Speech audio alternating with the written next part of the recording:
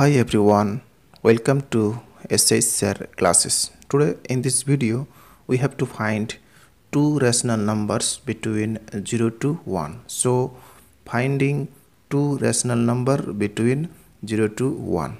So let's start the video. So first of all write down here the given number 0 and 1 by this way.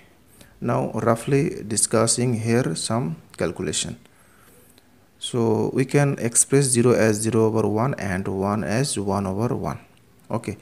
Now for finding two rational number between any two number we have to follow this method. So we should multiplying with both number by 2 plus 1 equal to 3 with both number up and down by this way. Okay.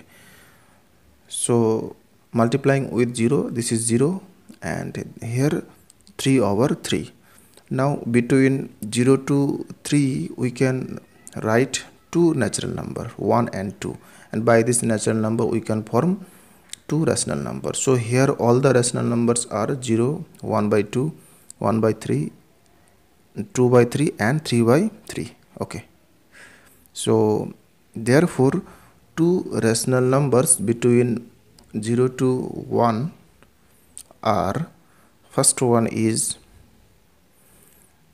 1 over 3 or 1 third and 2 over 3 so this is the process to find out two rational numbers between 0 to 1 that's all.